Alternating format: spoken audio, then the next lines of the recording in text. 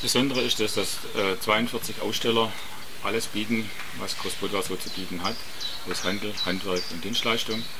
Vor allem die Handwerker, die arbeiten seit gestern Morgen schon sehr hart, um ihre Stände aufzubauen und zu zeigen, welche Qualität sie präsentieren können.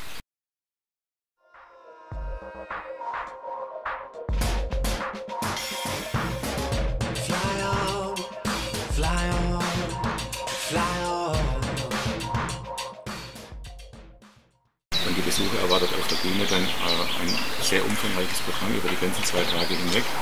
Morgen Abend, am Samstagabend wird eine Messeparty stattfinden mit, mit einer Gruppe. Und jetzt bei dem Wetter ist das natürlich sensationell gut.